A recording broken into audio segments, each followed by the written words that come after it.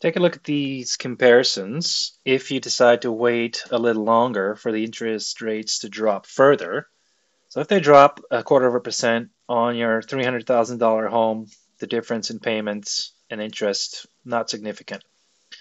If you decide to wait longer, but because of the lack of inventory as December outpaced uh, the sales in December outpaced the new listings again for the third month in a row here in Grande Prairie, Take a look at what can happen to your $300,000 home if it goes up 15%, sorry, 15,000 or 30,000 in price.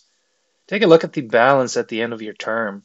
The amount of interest you would pay over the amortization period would be substantial if you decided to wait longer and then you are entering a price bidding war because of the lack of inventory.